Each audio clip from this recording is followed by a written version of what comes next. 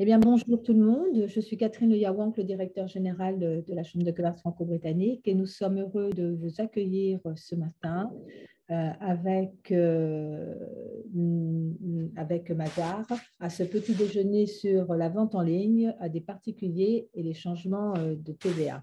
Je crois qu'il y a effectivement, ce début d'année, il y a énormément de changements. Et Pauline Gérard, avocat manager chez Mazar, associé, et Raphaël, Maric, avocat associé, eh bien, vont euh, tout nous dire à ce sujet. À vous, Pauline, à vous, euh, Raphaël. Merci beaucoup, Catherine. Donc, effectivement, on est très heureux aujourd'hui euh, d'être avec vous pour vous présenter donc, cette fameuse réforme du, e-commerce qui concerne les, ventes en ligne régulières. Euh, donc, comme, comme vous le disiez, Catherine, Raphaël et moi-même travaillons au sein du cabinet Mazar Avocat, donc en tant qu'avocat. Et euh, donc, on travaille régulièrement sur ces sujets liés, euh, au e-commerce, euh, que ce soit pour nos clients français, britanniques, irlandais ou, ou, tout, tout, lieu d'établissement. Donc, on les aide vraiment à se retrouver dans cette réforme qui est, qui est super dense, qui est super complexe. Et d'ailleurs, ce format d'une heure aujourd'hui va être, être, très dense, tellement il y a de, choses, à dire sur cette réforme. Donc, on ne veut vraiment pas euh, vous faire une formation très théorique. L'idée, c'est vraiment de vous faire notre retour d'expérience sur cette réforme à, euh, six mois. Euh, donc, bah, voilà, on sait que vous êtes un minimum sensibilisé si vous êtes, si vous êtes là aujourd'hui. Euh, mais c'est plutôt vraiment si vous avez entendu des choses, des schémas à mettre en place, des, régimes qui seraient plutôt euh, intéressants pour vous, vous donner notre avis euh, sur, sur ces régimes et sur ces choix qui peuvent être faits dans le cadre du e-commerce. juste, il faut savoir qu'aujourd'hui, on va parler uniquement de la réforme e-commerce euh, telle qu'elle découle des deux directives de 2017 et 2019 dans l'Union européenne. Donc, c'est le régime français et européen qui sera euh, abordé. Il faut savoir qu'au euh, Royaume-Uni, il y a aussi une réforme un petit peu similaire qui a été mise en place donc, pour les commerçants qui réalisent des ventes au UK. Euh, donc, si besoin, c'est quelque chose qu'on pourra alors soit faire une autre, euh, une session, soit euh, si vous avez des questions sur cette réforme du e-commerce au Royaume-Uni, on peut aussi en discuter ensuite par email ou par téléphone. Je crois qu'il y a un chat aussi. donc, si vous avez des questions, voilà, n'hésitez pas. C'est assez dense, comme je le disais, donc on y répondra peut-être plutôt à la fin. Donc, on commence sur l'introduction. Donc, bonjour à tous. Euh, alors, comme l'a dit Pauline, on va essayer d'être très pragmatique euh, et euh, d'avoir une approche, comme on aime le dire souvent, pratico-pratique, dans laquelle on va partager beaucoup de recommandations. Alors déjà, la première question qu'on a à se poser, c'est pourquoi cette réforme? Alors, en fait, il y, a, deux approches. Il y a l'approche un peu officielle et celle qui est amenée au niveau, des, au niveau des, des sociétés, et puis il y a la position un peu de l'État. Euh, la position au niveau de l'État, c'est qu'il y avait une vraie volonté de lutter contre la fraude. C'est vraiment le leitmotiv de cette, de cette réforme. Euh, il faut savoir, parce que c'est important de, parler de chiffres, euh, la TVA, d'une manière globale, c'est plus de 50% des recettes de l'État. En termes de fraude, c'est-à-dire quand on parle de fraude, on parle aujourd'hui d'acteurs qui n'étaient pas immatriculés à la TVA en France et en Europe. Euh, il considère, la, Commission européenne considère que le niveau de la fraude était équivalent à 147 milliards. Et si euh, on, suit les, euh, les, indications du ministère des Finances, on considère rien que pour la France, il y aurait 20 milliards. Donc, au-delà de ces chiffres, qui peuvent paraître effectivement énormes, il y a au niveau de, des différents acteurs une volonté de se mettre à l'égalité. Pourquoi à l'égalité? On le verra dans les exemples, parce que comme l'a dit, l'a Pauline, on donne beaucoup, on va, on va beaucoup marcher ce matin par euh, le biais de cas pratiques et d'exemples pour être très parlant et montrer les situations de blocage et les solutions surtout que l'on a pu apporter à nos clients. Donc, le fait d'être mis en égalité euh, par rapport à des acteurs, euh, sans vouloir les stigmatiser, mais effectivement euh, des vendeurs chinois ou en Asie qui vendaient sur le sol, sur le sol européen sans la moindre immatriculation, bah, nécessairement, il y avait un décalage de, 20, 20%, 20 à minima avec les acteurs, les acteurs européens. Aujourd'hui, alors ce qui est effectivement amené au niveau des différents acteurs, c'est au niveau des, des clients et des sociétés européennes, euh, c'est un gain. Donc, c'est le fait de ne pas avoir à s'immatriculer dans les différents pays. Donc, aujourd'hui, on considère qu'il y a un vrai gain administratif en tant que tel. Et le point d'orgue qui, qui, vient en fait diriger cette réforme, c'est le fait de simplifier les règles. Alors, sur ce point-là, ça part, ça part d'un postulat et d'une idée très louable, c'est-à-dire c'est de taxer au plus près de la consommation. Mais la simplification, et vous le verrez euh, très rapidement, n'apparaît pas comme étant véritablement celle qu'on imaginait. Alors cette slide euh, nous est venue assez naturellement, parce que je pense que si vous êtes un acteur dans le, secteur du e-commerce, il y a plein d'acronymes, plein de mots qui ont été un peu euh, mis sur cette slide qui vous parlent. On parle de seuil à 150, on parle de IOS, on parle de OS, euh, on parle d'assujettis facilitateurs, euh, on parle de régime particulier, d'interface électronique, de solidarité, de guichet unique. Un ensemble de mots euh, qui, pris séparément, peuvent paraître assez simples, mais mis dans le contexte de cette réforme, montrent toutes les complexités qui existent. Et notre objectif ce matin, ça va être de simplifier, d'essayer de vous donner une grille de lecture assez, simple, tout du moins la plus simple possible. Donc là, au-delà de euh, comprendre pourquoi cette réforme, euh, la première question qui est essentielle, c'est de savoir bah, est-ce que ça vous intéresse? En fait, est-ce que vous êtes concerné? Euh, on, a, essayé de faire beaucoup de, schémas au départ pour essayer de décrire pourquoi est-ce que vous êtes, vous êtes concerné ou où est-ce que vous n'êtes pas concerné.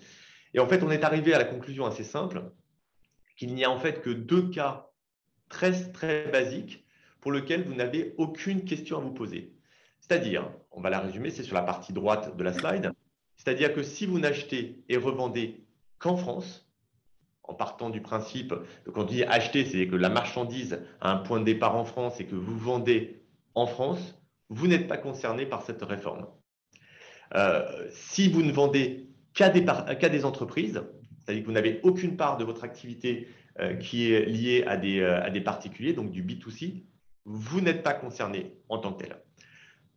Donc voilà. Donc en fait, en deux points, euh, si vous ne remplissez pas, enfin, si vous ne faites pas exclusivement les deux opérations que l'on a, euh, que je viens de, de citer, c'est-à-dire que vous êtes soit complètement concerné ou une partie de votre activité peut être concernée.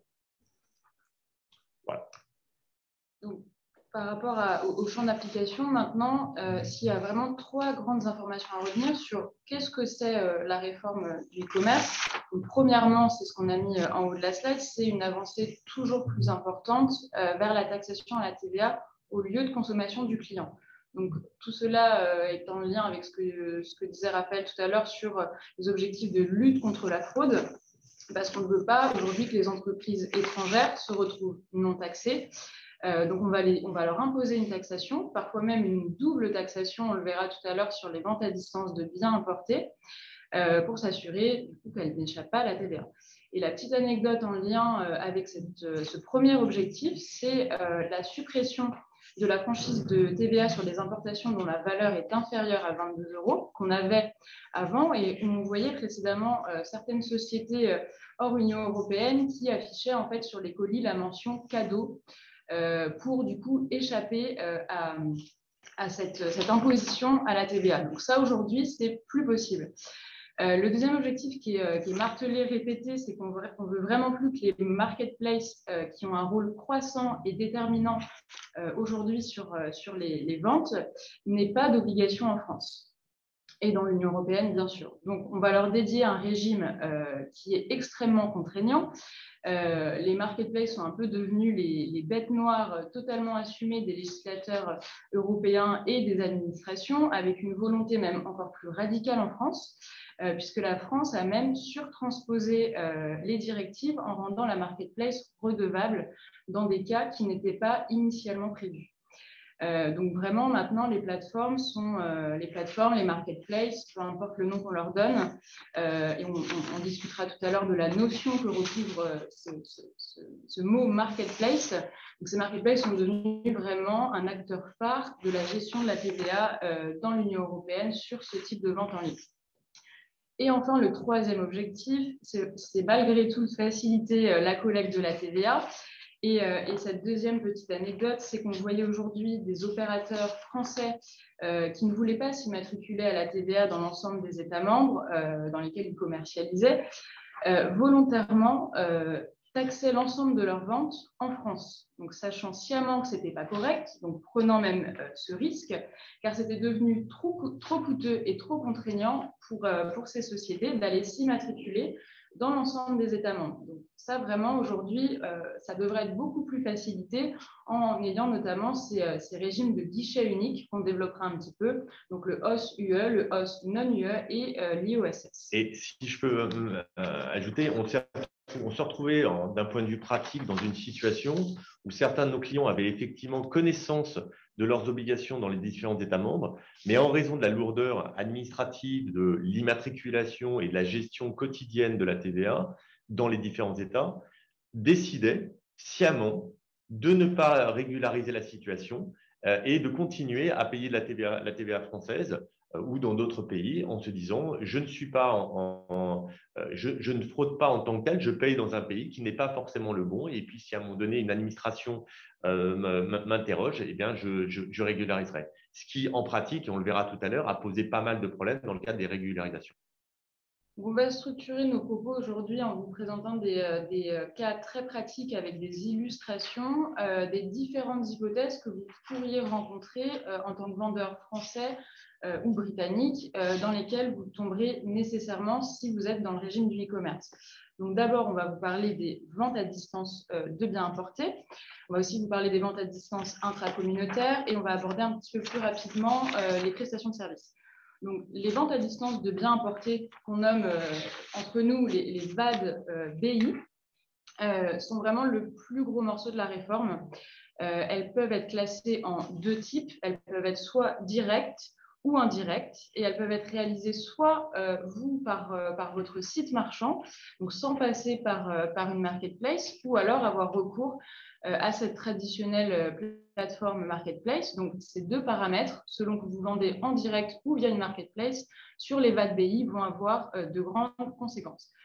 Donc, pour développer la notion de VAT BI en bref, euh, une vente à distance de biens importés, une VAT BI, ce sera toujours une vente de biens euh, à un particulier nécessairement qui est expédié depuis un territoire situé hors de l'Union européenne.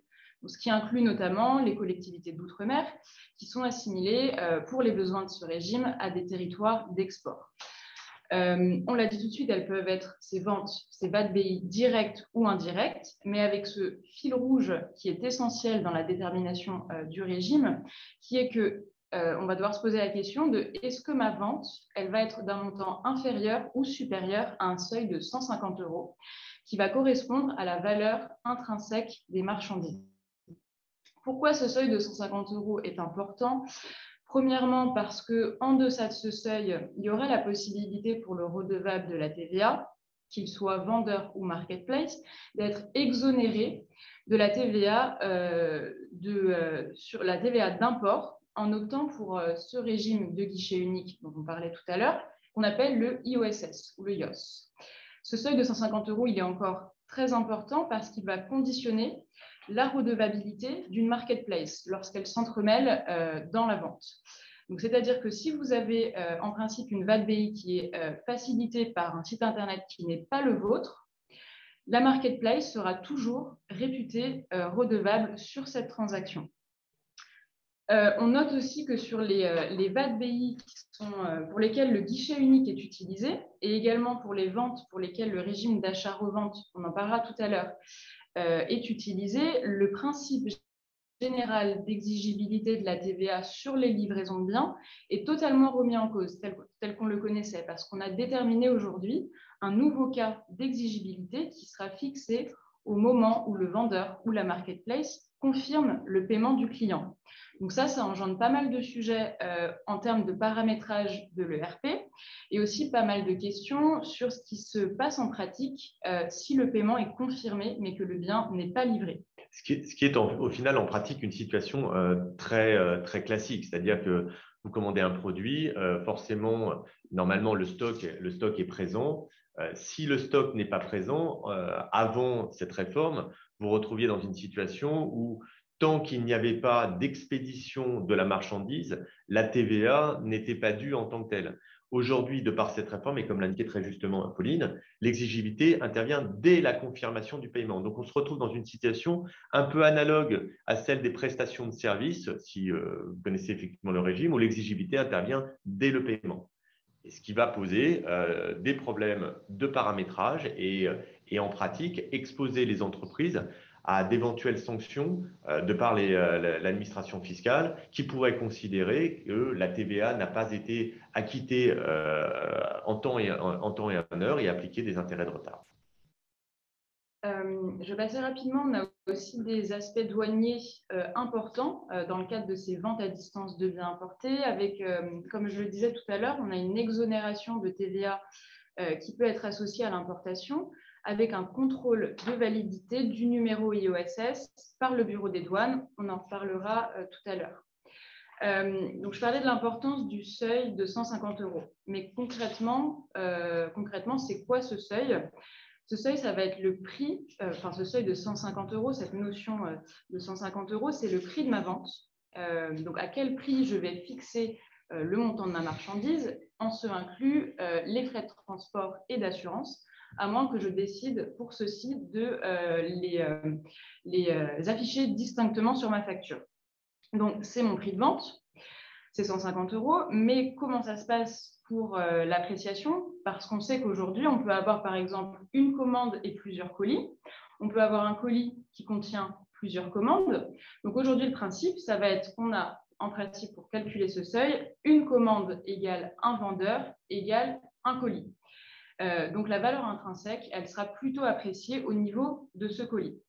Euh, donc vraiment, on va regarder plutôt euh, l'envoi et non la commande. donc c'est quelque chose qui a, poussé nos clients à, s'interroger sur, des hypothèses où il serait potentiellement possible d'expédier les commandes via plusieurs envois. donc, on expédierait les produits d'une même commande via différents envois. Euh, mais les textes prévoient bien que pour que cette dissociation ait lieu, il ne faut pas qu'elle soit artificielle. Euh, par exemple, on avait un client qui vendait euh, des ordinateurs et il nous a dit, voilà, est-ce que je peux expédier l'écran d'un côté, le clavier de l'autre, la centrale de l'autre? Pour nous, ça, ce n'est pas possible. Ce qui va plutôt être possible, c'est si vous êtes vendeur de livres, vous allez pouvoir effectivement expédier l'ensemble de ces livres dans, différents colis, parce que là, on appréciera le, seuil au niveau de ces envois, au niveau de ces colis. Mais euh, attention, parce que euh, on peut avoir en, splittant comme ça euh, les, commandes par différents colis, on peut avoir des surcoûts, que ce soit logistique, transport, emballage. Donc, c'est quelque chose qui est envisageable, c'est une, option qui est envisageable, mais attention à ce point-là, des surcoûts qui peuvent, avoir son importance. Donc, ensuite, on vous a proposé un exemple d'un cas typique. Donc, le cas le plus simple, donc, on est sur une vente à distance de biens importés, une VAT-BI directe. Direct, ça veut tout simplement dire qu'on importe dans le même état que l'état de consommation final. Euh, donc ici, on a une société euh, française, par exemple, euh, qui expédie des biens depuis la Chine à un client particulier en France. ce qu'on pouvait retrouver avant, c'est que la société française, donc avant le 1er juillet, la société française était redevable de la TVA d'import, puis elle était redevable de la TVA sur la vente locale en France qu'elle réalisait à son client.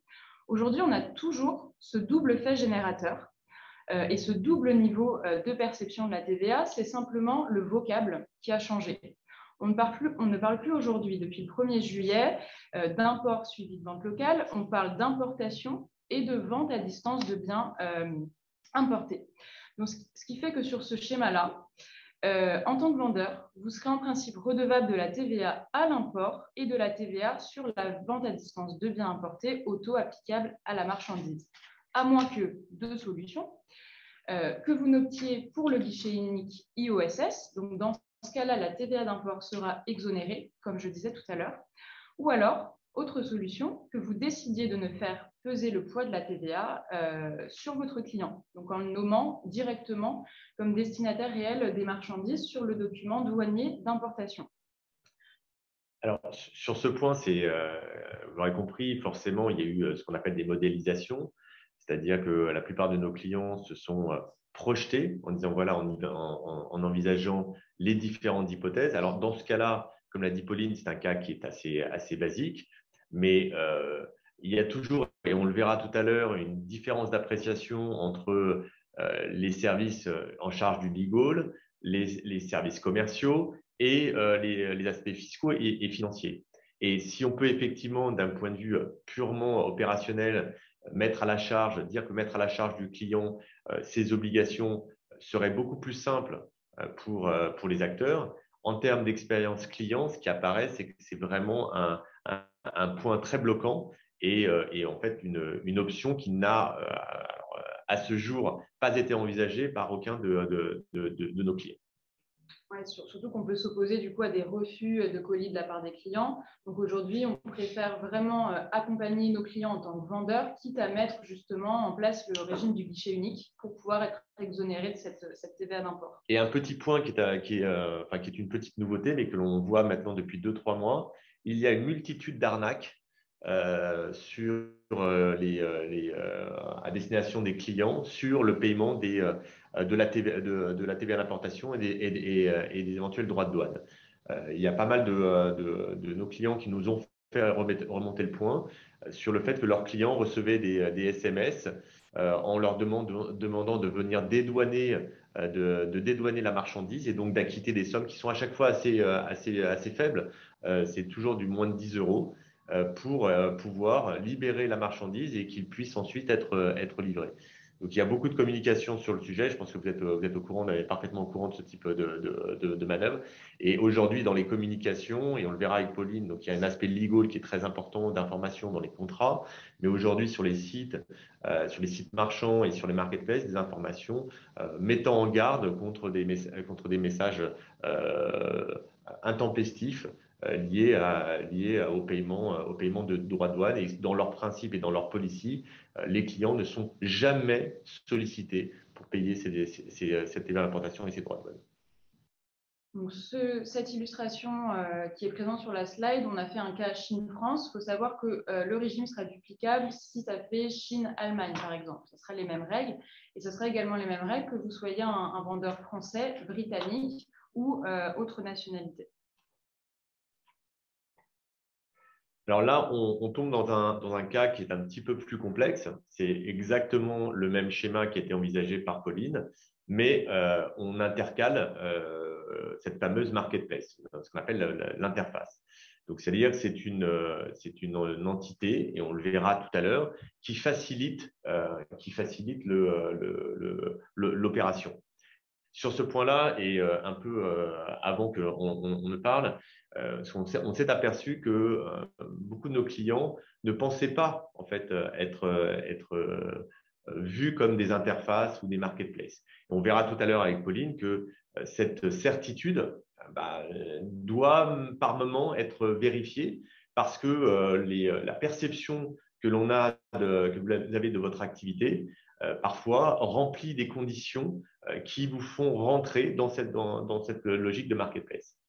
Dans ce cas précis de la marketplace, on se retrouve dans une logique où en fait la, marketplace va, euh, au final avoir une certaine, euh, d'une certaine fictivité et être vue comme un achat, un, achat revendeur. Donc on va se retrouver dans une, dans une logique où la marketplace va être redevable de, euh, des, des, comment des sommes qui sont, qui sont dues au titre, au titre de, la, TVA. Le, point d'orgue, c'est est-ce que l'on est en dessous ou au-dessus du seuil de 150 euros?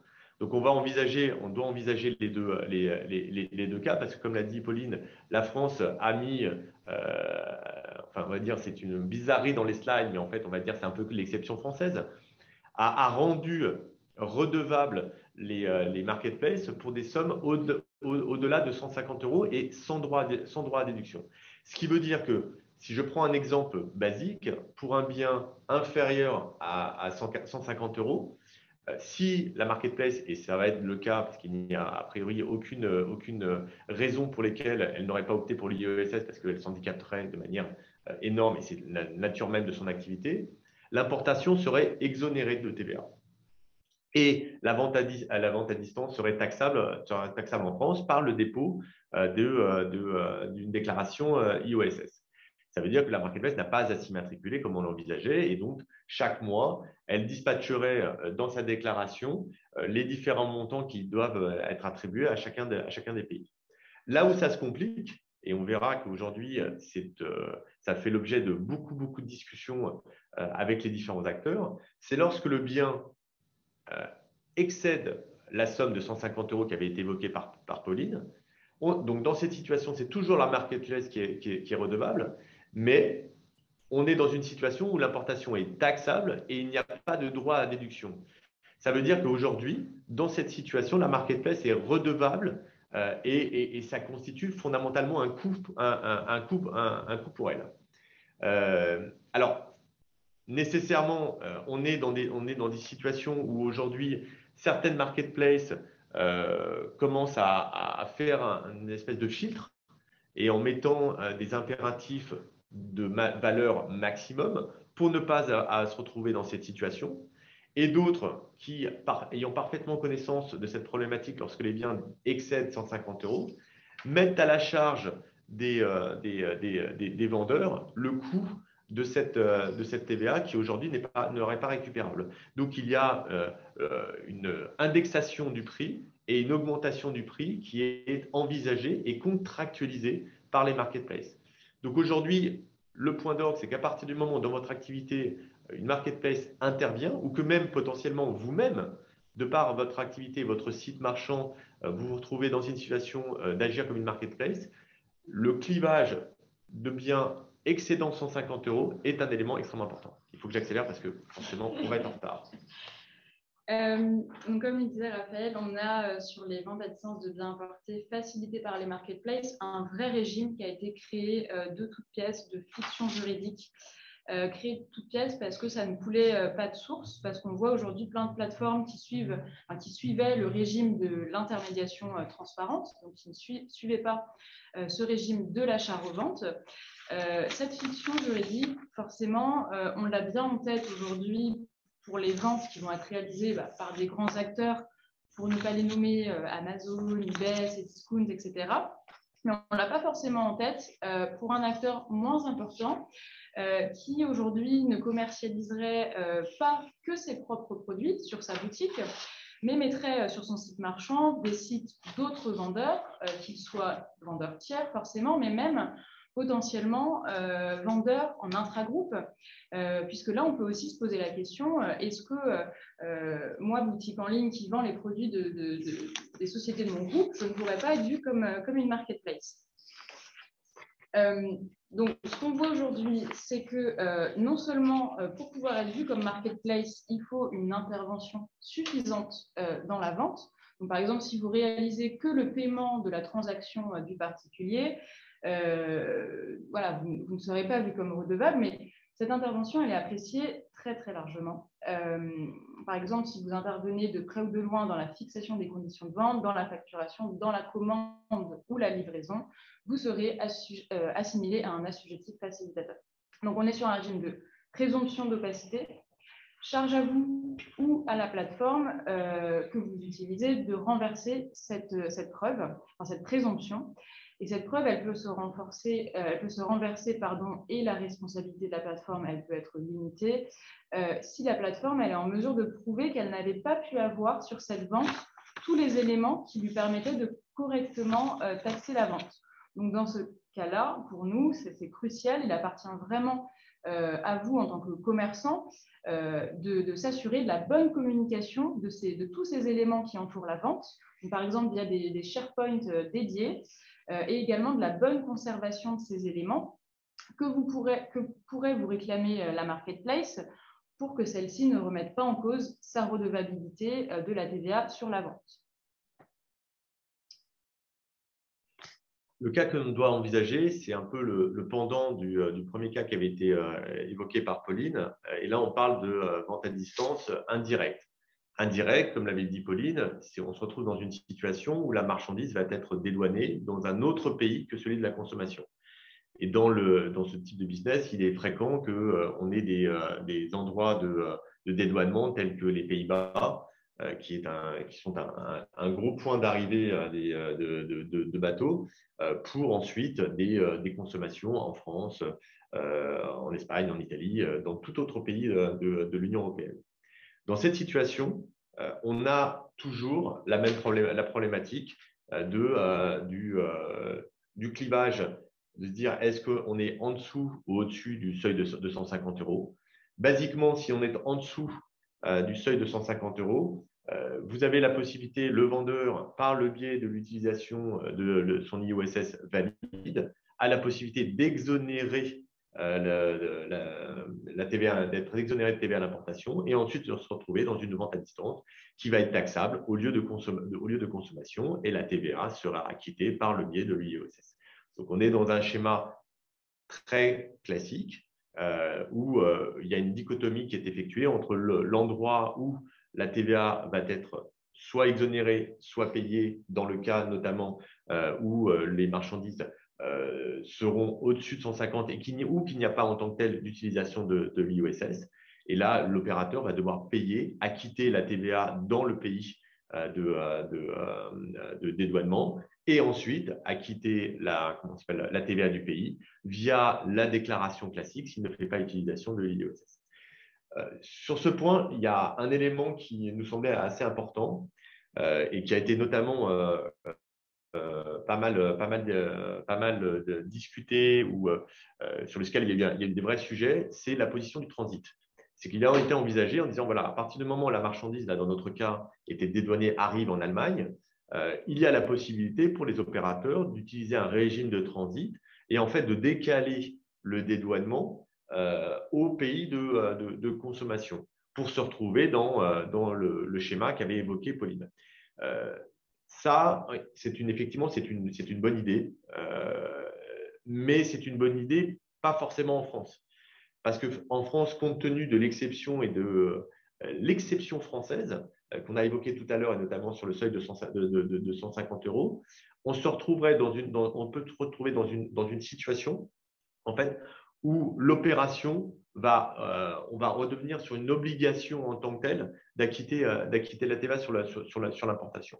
Donc, en tant que tel, le transit est une opération à envisager potentiellement lorsque vous avez un dédouanement dans un pays de l'Union européenne avec un pays de consommation autre que pour la, que pour la France.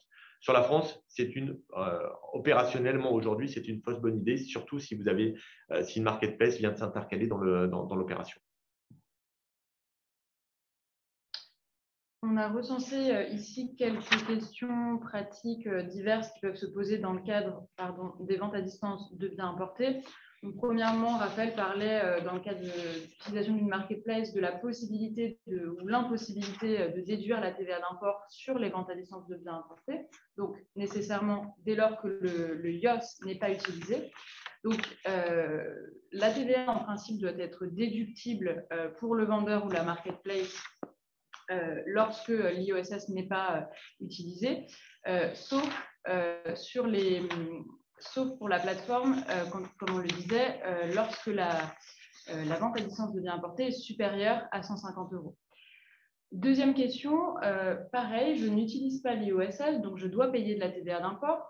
Vous savez qu'en France, depuis le 1er janvier de cette année, on a une obligation d'autoliquider la TVA d'import en France. Donc, est-ce que ce cas, cette obligation a été étendue euh, aux euh, ventes à distance de biens importés? Alors, sur ce sujet, très pratiquement, la, doctrine euh, de l'administration n'est pas à jour, mais pour nous, ça devrait nécessairement rentrer dans le, dans le cadre de cette généralisation.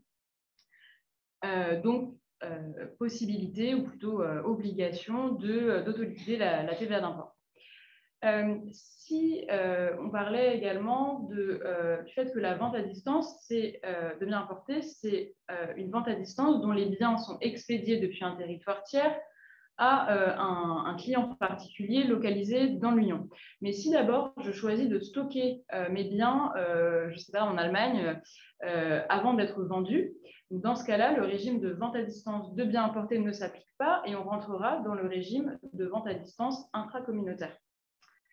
Euh, quatrième question euh, très importante, euh, si je choisis cette fois d'utiliser l'IOSS et que mes importations sont exonérées, est-ce que je dois les reporter sur ma déclaration de TVA CA3 Non, sur ce point-là, le BOFIF est très explicite et on a une, exemption de report.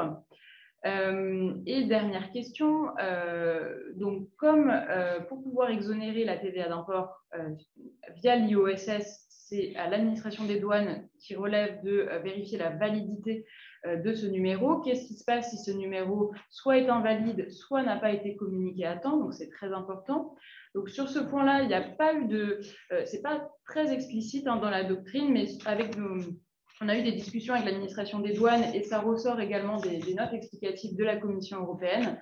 Pour ça, on devrait, mettre, on devrait possiblement mettre en place une régularisation et donc bénéficier de l'exonération de TVA d'import a posteriori. Donc, euh, j'espère qu'on a, réussi à, vous montrer à quel point il y avait de nombreuses problématiques. Euh, là, sur, cette slide, on, voulait vous faire part en fait de, euh, points qui nous semblent assez, assez importants, c'est-à-dire que il y a différents acteurs en fonction de la nature de l'activité. Il y a évidemment les clients finaux, il y a les marketplaces, il y a vous en tant que, que vendeur, il y a les opérateurs, c'est-à-dire les transporteurs, les éventuels déclarants, en douane. Aujourd'hui, on est face à une situation où, en fonction de, des flux qui sont envisagés, on s'est retrouvé euh, euh, dans des situations où, euh, en, confrontant et en faisant une cartographie des flux, on s'apercevait que sur certaines opérations, soit le vendeur, soit la marketplace se considéraient comme redevables, par exemple, de la, TVA au titre de la vente à distance. Et on s'est retrouvé dans des situations assez ubuesques, où les deux se considéraient comme étant redevables, ou même dans le sens inverse, où les deux ne se considéraient pas comme, comme, redevables.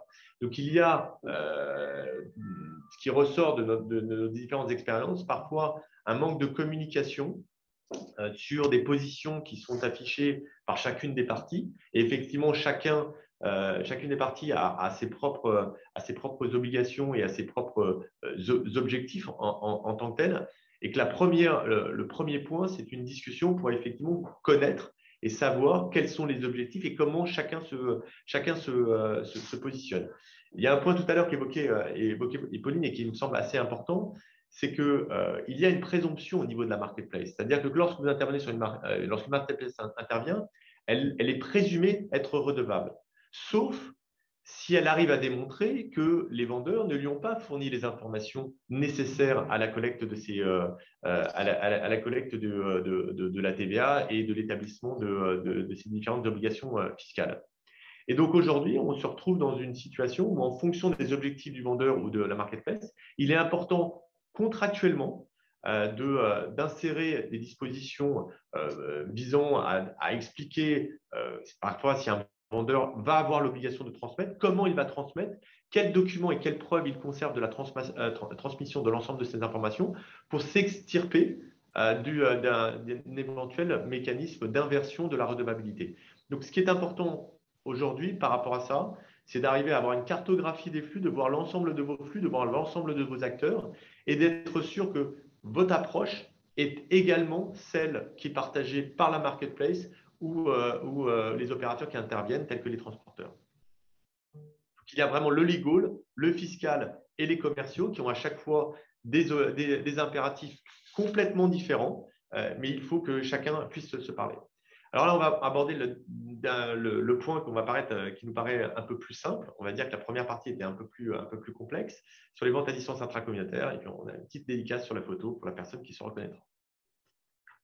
Effectivement, là, on passe à la partie la plus euh, récréative de, ce webinaire parce que tout simplement, on est en terre euh, connue. Euh, les, ventes à distance les ventes à distance intracommunautaires, c'est un régime que vous, en tant que commerçant, vous connaissez. vous avez appréhendé depuis plusieurs années avec la question des seuils de 35 000 euros, 100 000 euros. Donc aujourd'hui, on a toujours la question de ce seuil, mais ce seuil a été abaissé à, à 10 000 euros et il est apprécié non plus pays par pays, mais globalement. Euh, et la particularité, c'est qu'il tient compte également, euh, dans le cas où vous feriez en plus des ventes à distance, euh, des ventes de services électroniques à des non assujettis, des montants de ces ventes de services dans le calcul. Donc, en pratique, vous l'avez sûrement déjà remarqué, ce seuil de 10 000 euros, il est presque là pour faire joli. en réalité, il s'applique qu'aux entreprises dont l'activité de vendeur à distance est totalement marginale pour lesquels ce n'est pas le cœur de métier. C'est pour ça d'ailleurs que le GOFIP parle, d'un régime de petits opérateurs. mais on se rend compte que ce seuil, en pratique, n'est quasiment jamais, jamais applicable, parce qu'en fait, il ne sera pas applicable par exemple, si vous êtes une société établie hors de l'Union européenne, donc une société britannique, ce seuil de 10 000 euros ne s'appliquera pas. Également, si vous êtes établi dans l'Union européenne, mais dans plusieurs États membres de l'Union européenne, donc en France, en Espagne, il ne s'appliquera pas. également, si vous expédiez votre marchandise depuis plusieurs États membres, il ne s'appliquera pas. Donc, s'il ne s'appliquera pas, ça veut dire nécessairement que votre vente à distance sera taxable euh, dans l'État membre d'arrivée. Euh, et ce qui est intéressant sur les retours d'expérience euh, sur la mise en œuvre de, ce nouveau seuil, c'est comme on, le disait tout à l'heure, on avait des opérateurs qui pouvaient être tentés aujourd'hui d'appliquer, enfin, antérieurement, d'appliquer la TVA française, alors que les seuils de 35 000 euros et de 100 000 euros étaient dépassés. Donc aujourd'hui, ces opérateurs-là, ils vont être beaucoup plus visibles aux yeux des administrations euh, locales, ce qui aujourd'hui les conduit à entrer dans des procédures de, régularisation spontanée pour déclarer correctement la TVA dans les différents États membres. Et sur ça, euh, en fait, ça fait après plusieurs mois de, discussions et notamment portées euh, par notre cabinet avec l'administration, euh, l'administration a admis la possibilité dans un rescrit qui est très récent, puisqu'il date de, décembre dernier, de se voir restituer la TVA française sur la période qui correspond au délai de reprise prévu dans, l'État membre d'arrivée. Donc ça, c'est une vraie sécurité en plus pour les opérateurs qui se lancent dans des procédures de régularisation qui font un peu peur. Euh, mais bon, sans, vouloir les, décourager, parce que c'est une vraie démarche positive et de transparence et de relation de confiance, ça ne veut pas dire que cette régularisation, sur cette régularisation spontanée, euh, elles n'encourront pas de pénalité à l'étranger. Malheureusement, sur ça, euh, bah, on aura potentiellement des, des pénalités à l'étranger si on n'a pas correctement déclaré la TVA à l'étranger. Et également, ça ne veut pas dire que l'administration française restituera la TVA euh, euh, dans tous les cas. Non, il faut vraiment monter un vrai dossier. Il euh, faut vraiment se faire accompagner pour bien prouver qu'à l'étranger, ces ventes ont bel et bien été taxées là-bas, donc notamment en apportant des preuves documentaires solides. Donc euh, là, encore une fois, on vous a fait un exemple pratique. Sur la droite, euh, on va prendre le cas euh, ici d'une société irlandaise cette fois. Vous êtes une société irlandaise, vous expédiez des biens au départ d'Espagne à destination d'un client en France. Donc, par rapport au seuil, la TVA, elle sera due en Espagne si le seuil de, de 10 000 euros n'est pas dépassé ou alors euh, s'il est dépassé euh, mais n'est pas ou n'est pas applicable, la TVA sera due cette fois euh, en France avec la possibilité d'opter pour le guichet unique, cette fois-ci qu'on appelle OS-UE, qui va permettre de payer la TVA en France directement, ainsi que dans l'ensemble des autres États membres dans lesquels la TVA peut être due. J'ai pris le cas d'une société irlandaise volontairement parce que si vous êtes une société française dans cette même hypothèse, l'état d'arrivée euh, qui est la France, et votre état d'établissement. Donc ici, les ventes, elles ne seront pas déclarées via le guichet unique, elles seront déclarées euh, directement sur votre CA3. Euh, donc, point pratique, ici, on l'a vu que, enfin, on a vu tout à l'heure que sur les ventes à distance de biens importés, les marketplaces étaient toujours redevables, peu importe l'état de localisation du vendeur initial. Ici, sur les, sur les VAD IC, euh, ce n'est pas le cas avec les marketplaces. Donc, pour les ventes qui sont réalisées dans l'Union européenne, qu'elles soient locales ou qu'elles soient intracommunautaires, la marketplace, elle sera jamais vue comme redevable sur ce type de vente. Donc, si vous êtes euh, euh, vendeur français ou déjà établi dans l'Union européenne, elles ne seront pas redevables. donc, encore un point pratique qui n'est pas négligeable sur ce type de vente, c'est sur les aspects facturation. Euh, sur les ventes à distance intracommunautaires, comme vous le savez sans doute, euh, en principe, on a une obligation euh, d'émission de facture. Donc, quand bien même on vend à des particuliers, on doit émettre une facture. Mais en optant pour le guichet unique, le HOS, on a une, exemption de, de, facturation. Donc, l'avantage, il peut sembler un petit peu limité parce que il est fréquent dans, ce, genre de situation que les sociétés émettent quand même des factures aux particuliers, notamment parce que l'ERP en fait ne, doit sortir une facture dans ces cas-là, donc ce n'est pas possible de ne pas en émettre. Mais l'intérêt, c'est quand même que vous ne vous ferez pas retoquer sur les, éventuelles mentions incorrectes sur facture. On termine euh, les ventes à distance intracommunautaires par trois questions pratiques. Euh, tout d'abord, est-ce que si vous faites des, des, ventes à distance intracommunautaires, que vous utilisez le guichet unique, vous serez dispensé des, nouvelles, des, des, nouvelles, des nouveaux états récapitulatifs des enquêtes statistiques qui remplacent l'ADEB Donc, on a discuté de ce point-là avec l'administration. Ce n'est pas encore arrêté, mais a priori, vous ne serez pas dispensé et une, une DEB devra être déposée. Euh, on le disait tout à l'heure, si vous êtes une société française et que vous, avez des ventes à distance qui sont taxables en France, euh, ces ventes à distance ne pourront pas être reportées euh, via le guichet OSS, elles devront être reportées directement sur, vos CA3.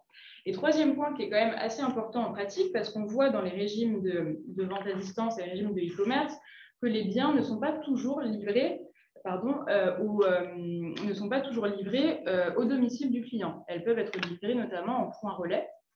Et on voit que le régime du e-commerce est applicable dans ces cas-là, avec la doctrine de l'administration fiscale qui est explicitement applicable dans ces cas.